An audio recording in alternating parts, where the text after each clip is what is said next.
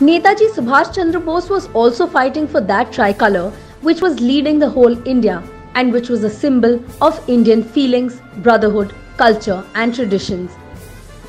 Netaji raised the bar for the fight for freedom by raising the slogan, You give me your blood and I will give you the freedom.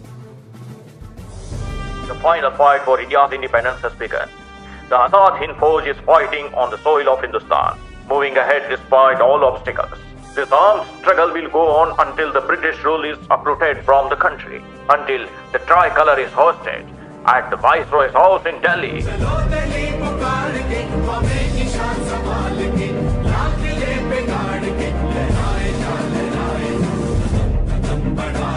This was Netaji's address to his beloved country.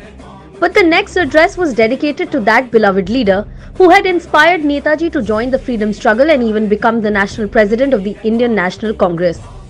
His next words were Rashtrapita, we seek your blessings in this fight for Hindustan's independence.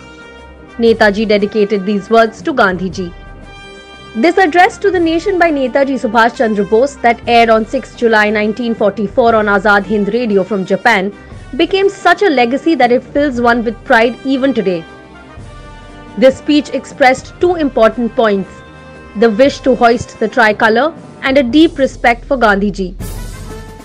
Also, by expressing his tremendous respect for Gandhiji, Netaji gave a clear message that he might have started his fight for independence from Japan, but it was Gandhiji who was the real commander of the struggle for independence. Which is why Netaji addressed Gandhiji as the father of the nation.